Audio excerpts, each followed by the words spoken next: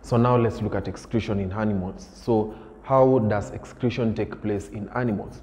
So basically in animals we see that this is mainly carried out by elaborate system made up of specialized tissues and organs and cells. So in the animals, so excretion is mainly carried out by different specialized organ, different specialized cells, different specialized tissues. So for, for animals, basically we see that most animals are higher organism. If we speak about higher organism, therefore we mean that this is not a unicellular organism. This is a multicellular organism. That is the reason why it is called a higher organism because it comprises of very many cells brought together to form an organism, a whole organism.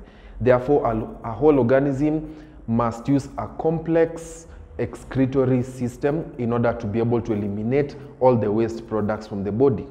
So this is because most animals are made up of different, uh, different organs which produce a lot of waste. They are made up of different tissues which also produce a lot of waste. So since these organs and tissues they produce a lot of waste. Therefore, there is a need to have a very much complex excretory system, the one that will remove uh, this type of waste products, the one that will remove this type of waste products, etc., etc. Therefore, in this for these organisms, high organisms, we see that diffusion alone cannot be able to remove all the waste products from their body because diffusion only deals with removal of very less toxic or removal of very low quantity of waste products. But for the high organisms, they produce a lot of waste within a short period of time. Therefore, diffusion alone cannot be able to serve as the main mm, as the main excretory uh, excretory agent to remove the waste products from the bodies of these different organisms that we have.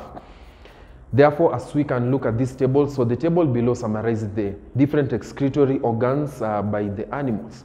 So as you can look at this table, we have two columns. So the first one is the column for the type of animal. Then the second column is the column for now the organ which is mainly used for the excretion of the different excretory products for the body.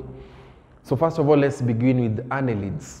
So for the annelids, uh, for yeah, the annelids, they mainly comprise of of the roundworms. So the, anel, the annelids, they mainly comprise of the worms.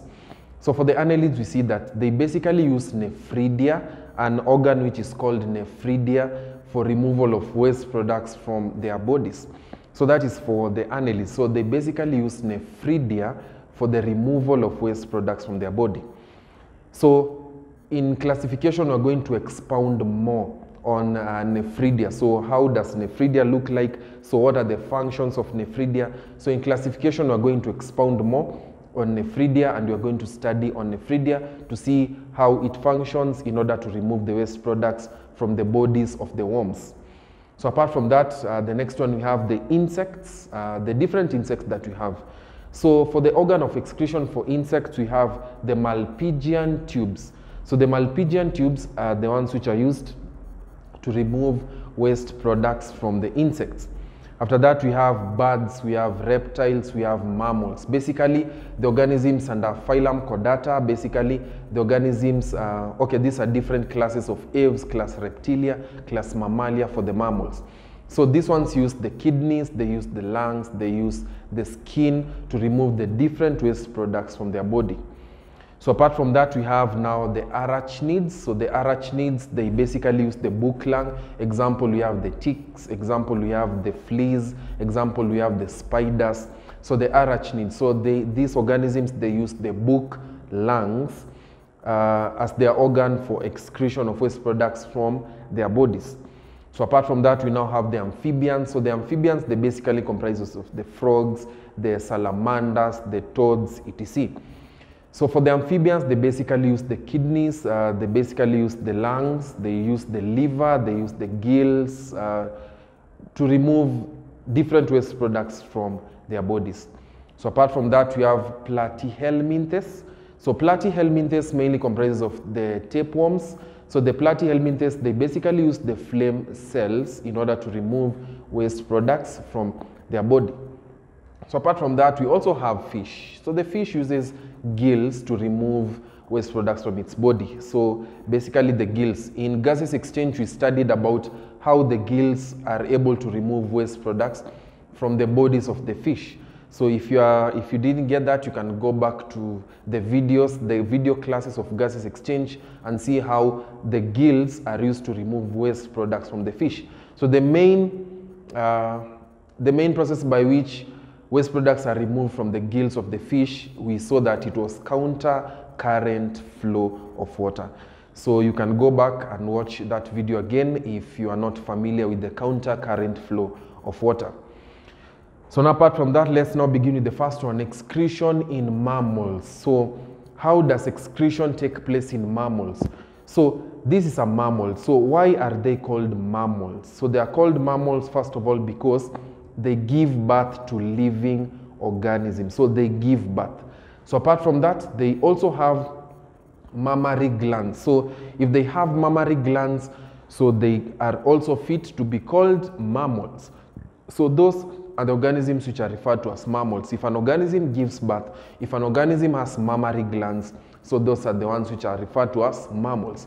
So le now let's look at excretion in mammals. So how does excretion take place in mammals?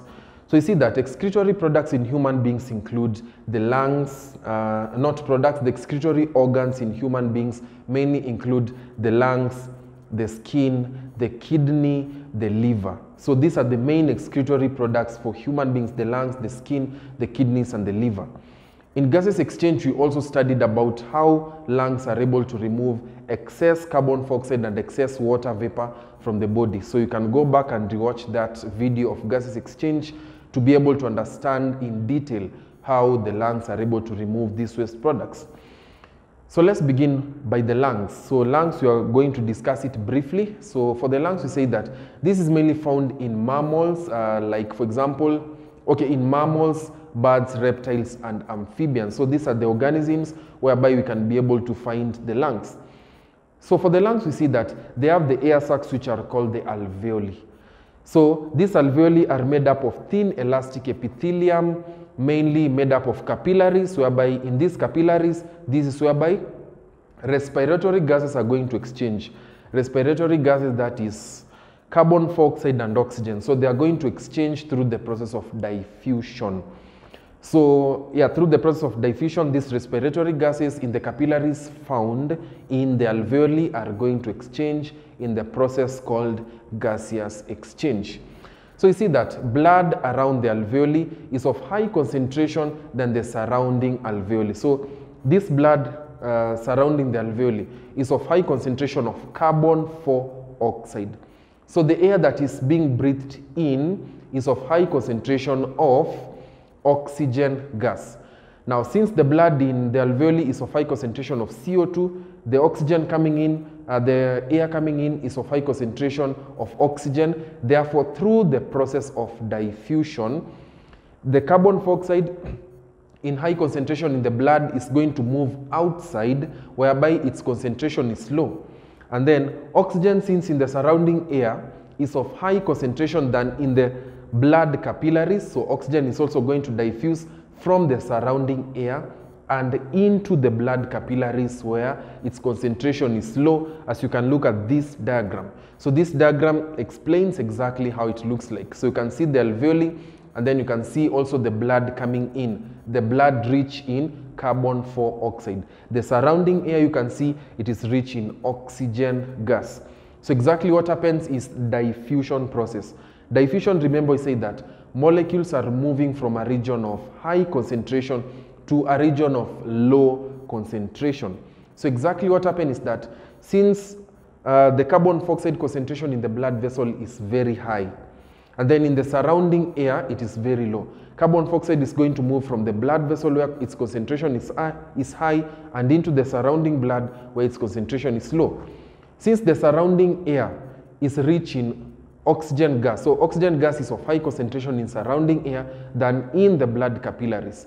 So the oxygen gas is going to diffuse from the surrounding air whereby its concentration is high and into the blood capillaries whereby the concentration is very low through the process of diffusion.